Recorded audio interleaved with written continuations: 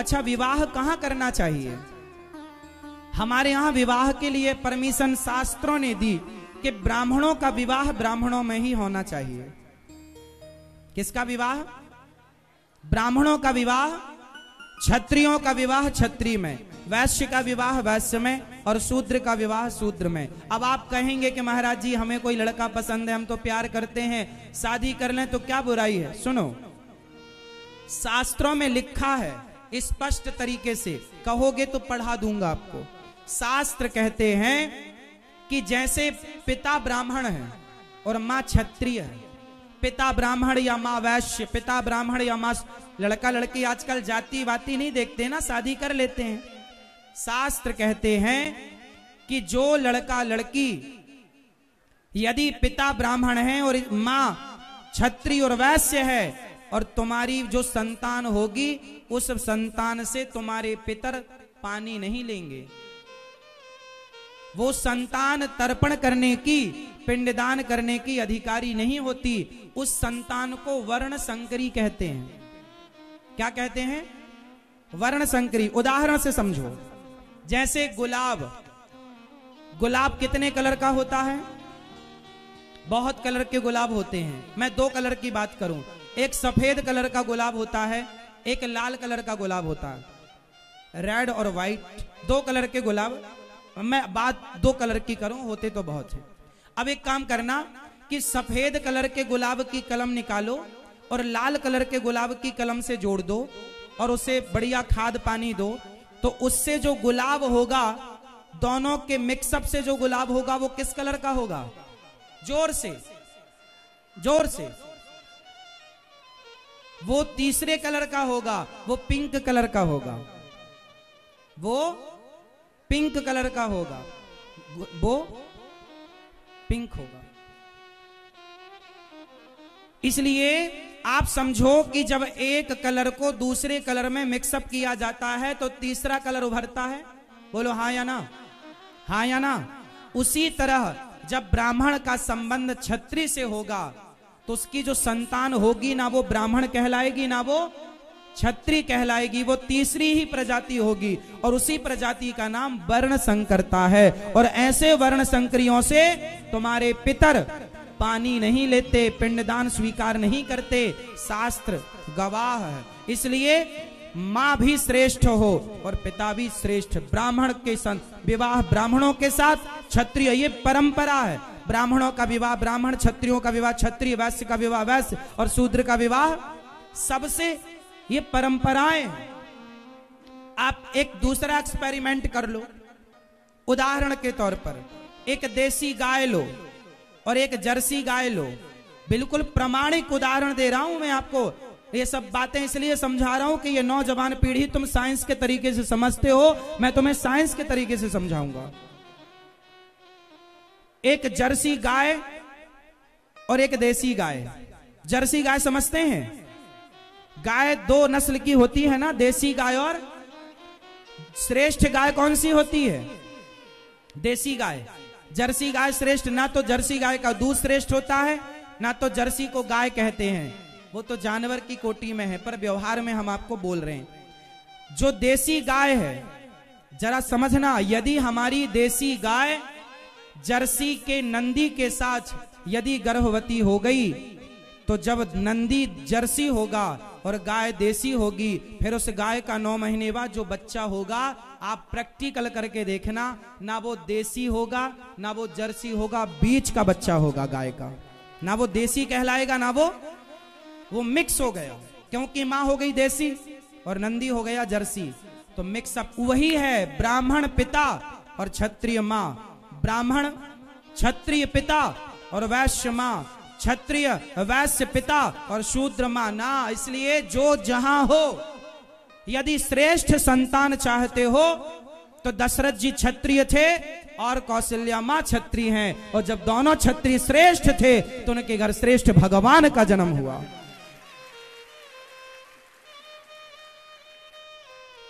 सुनीति क्षत्रिय और उत्तान पाद क्षत्रिय, दोनों श्रेष्ठ क्षत्रिय थे तो ध्रुव का जन्म हुआ। इसलिए माँ भी श्रेष्ठ हो और पिता भी। आप लोग जो कहते हो ना, प्यार किया तो डरना क्या? किसी से भी प्यार करो ना जी। इसका परिणाम आने वाली संतानों में देखा जाएगा। आज जितने भी उत्पात मचाने वाले लोग हैं, नालायक लोग हैं दुष्ट लोग हैं। इतिहास छान कर देखना, ये सब वर्ण संक्रिय होंगे, इसलिए नालायक हैं। श्रेष्ठ माँ और श्रेष्ठ बाप से जना बेटा या बेटी, जिनके अंदर लाज है, शर्म है, धर्म है, दया है वो श्रेष्ठ माँ बाप से पैदा हुए होंगे और जिनके अंदर दया नहीं, प्रेम नहीं, जिनके अंदर करुणा नहीं, जिनके अंदर इंसानियत नहीं, जरा इतिहास में घुसकर देखना, इनके जीवन में ये ज़रूर वर्ण संकरता से पैदा हुए, ऊपर कोई गड़बड़ था। माँ बाप के अंदर दया है तो दयावान बेटा होगा। पीपल का दाना कितना बड़ा होता? है पीपल का बीज। फास्ट, उत्तर दो। पीपल का बीज कितना बड़ा होता है? चीटी के मुँह बराबर। पीपल का बीज कितना बड़ा होता है? चीटी के मुँह बराबर। हाँ या ना? इतना। अब बताओ, पीपल का इतना सा दाना, उस इतने से दाने में पीपल का इतना बड़ा वृक्ष छिपा है कि नहीं? बोलो हाँ। उस इतने से पीपल के दाने में इतना बड़ा विशाल वृक्ष, और वृक्ष ही नहीं, पूरी प्लानिंग उस बीज में है कि ये किस सीज़न में पतझड़ की तरफ़ जाएगा, किस सीज़न में इसके पत्ते आएँगे, किस सीज़न में इसके फल लगेंगे, और फलों के बाद बीज इसका कितना बड़ा होगा। इतने से दाने में पूरी उसकी सौ साल, दो सौ साल, पाँच सौ साल जितनी पीपल की आयु है, पूरी उसके अंदर पूरी प्लानिंग समाई है कि नहीं? अब बताओ पीपल का बीज बोया तो क्या आम हो सकता है? ज़ोर से, क्या पीपल के दाने से आम होगा? तो फिर यदि तुम्हारी माँ संस्कारी है, तुम्हारा बाप संस्कारी है तो तुम्हारी औलाद संस्कारी होगी। यदि दुष्ट हुई तो बीज गलत है। प्रॉब्लम बीज में है, क्योंकि जो किसान बीज जितना श्रेष्ठ बीज बोएगा फ़सल उतनी श्रेष्ठ होगी। किसान अच्छी से अच्छी क्वालिटी का बीज लाकर खेत में बोता है। चाहे आलू का हो, चाहे गेहूँ का हो, चने का हो, चावल, धान क्यों? धान भी हम लोग सेलेक्ट करते हैं ना, बढ़िया सी धान बोएँगे। बढ़िया क्वालिटी का बीज खरीद के किसान लाता है। क्योंकि जितना श्रेष्ठ बीज होगा, धान उतनी बढ़िया, फ़सल उतनी बड़ी अब आप देखो कि आपकी औलाद यदि गलत है तो दिक्कत कहीं और है। प्रॉब्लम खून में है। अच्छा एक बात बताओ। कई बार डॉक्टर कहते हैं, आपको डायबिटीज़ हो जाए, आपको दूसरी बीमारी हो जाए तो कई बार डॉक्टर क्या पूछते हैं, क्या ये बीमारी तुम्हारे पिता को है? क्या तुम्हारी माँ को है? कई बार बीमारियाँ बाप से बच्चे तक जाती हैं। कितने लोग इस बात से सहमत हैं? कि कई कुछ बीमारियाँ ऐसी हैं कि दादा को थी तो बाप को है, और बाप को है तो बेटे को है, और बेटे को है तो उसके बेटे को है। कुछ बीमारियाँ परंपरा से चलती हैं। कितने लोग इस बात से सहमत हैं? सहमत हो ना? अब सुनो। जब बीमारी बाप की बेटे में आ सकती है तो संस्कार बाप के बेटे में क्यों नहीं आ सकते?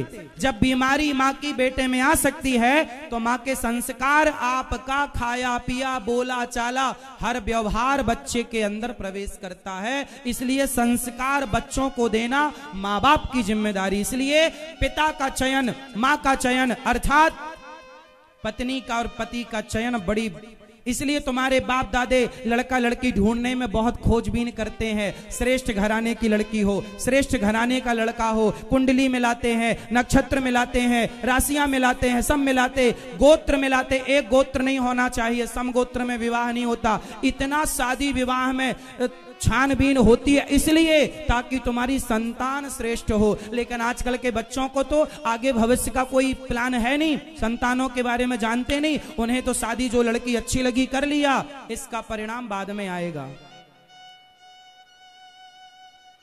इसका परिणाम बाद में आएगा। आज जो विधर्मी भारत में है, अब ये बताओ, अंग्रेज़ जब आए, मुगल जब आए तो मुगल भारत में आए तो मुगल कोई स्त्रियाँ लेकर छोड़ी आए थे। उन मुगलों ने भारत की स्त्रियों के साथ पकड़कर उनका बलात्कार किया, उनसे जो संतान पैदा की, वो कैसी?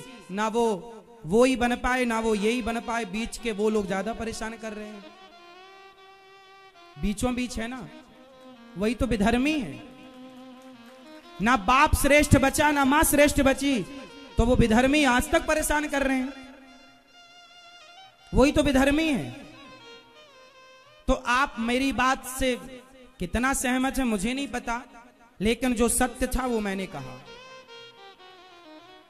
कि श्रेष्ठ माँ और श्रेष्ठ पिता, श्रेष्ठ लड़की का चयन करो, श्रेष्ठ कुल परंपरा खानदान की लड़की और श्रेष्ठ वंश परंपरा का लड़का। इसलिए मेरी बहनों, शादी विवाह करने में जल्दीबाजी ना करो आपकी माँ ने आपको पढ़ा लिखा कर योग्य बनाया है तो आपके लिए सुंदर लड़की और सुंदर लड़के का चयन भी वो अच्छे से करेंगे। उन पर विश्वास रखो। और माँ पर विश्वास रखो। माँ बाप की चप्पल घिस जाती है, बेचारा बाप ओवर टाइम काम करता है, आपकी खुशी के लिए कि ज़्यादा कमाऊँगा, बेटी को पढ़ाऊँगा, लिखाऊँगा और बेटी को लायक बनाऊँगा। इसलिए अपनी बेटी का, अपने माँ बाप का थोड़ा सम्मान किया करो। आप जब किसी लड़के को लेकर भाग जाती हो, किसी लड़की के साथ लड़के भाग जाते हैं तो आप तो भाग कर अपनी शादी कर लेते हो, अपना घर बसा लेते हो, लेकिन जो आपके माँ बाप है ना, वो बेचारे जिस गली से गुजरते हैं, समाज उन्हें गलत गलत बोलती है कि तुम्हारी लड़की भाग गई, तुम्हारा लड़का भाग गया। बेचारे माँ बाप को समाज जीने नहीं देती, ताने मार मार के मार डालती है। इसलिए आप चाहते हैं कि आपके माँ बाप को ताने सुनने पड़े? इसलिए माँ बाप की बात मानना चाहिए, पढ़ना लिखना चाहिए आपको, और पढ़ने लिखने के बाद अपने आप को इतना योग्य बनाओ कि आपके पिता, आपकी माँ आप पर गर्व कर सके, आपका समाज आप पर गर्व कर सके कि भाई ये लड़की हमारे समाज की, हमारे परिवार की, हमारे भिंड की लड़की है, हमारे भिंड का ये लड़का है, जो आज नाम रोशन कर रहा है। तो आपको अपने क्षेत्र का, अपने देश का, अपने राष्ट्र का नाम रोशन करना चाहिए। और ये तब संभव है जब आप अच्छी सोच के साथ आगे चलें और हर प्रकार के नशा से बचो। ना सिगरेट पियो, ना तंबाकू खाओ, ना छोटा से छोटा और बड़े से बड़ा नशा बच जाओ और अपने माँ बाप का सम्मान बढ़ाओ, उनका नाम बढ़ाओ, उनकी कीर्ति बढ़ाओ। और कोई आपसे प्यार व्यार करता है तो वो आपसे प्यार नहीं करता। उसे शरीर की भूख है, वो मिटाना चाहता है। आप क्यों उसके शिकार, उसके झूठे जाल में फंस रही हो? अब आपको मैंने इतनी स्पष्टता से जो जो कह दिया, आप, आज तक आपको इतनी स्पष्टता से ये बातें किसी ने ना कही होंगी। अब आपको हमने कह दी, आपको समझना कितना है, वो आप जानो। ये जो मैंने बातें कही, ये सारा रिकॉर्ड अपने बेटी को सुनाना, अपने बच्चों को जो लोग पानी के कारण चले गए हैं जो घर पर पहुँचे हैं, आप सारे लोग इस वीडियो को, इस बात को नौजवान बेटी और नौजवान बेटों तक पहुंचाइए सारी बातों को और सुनवाइए आपकी ज़िम्मेदारी है।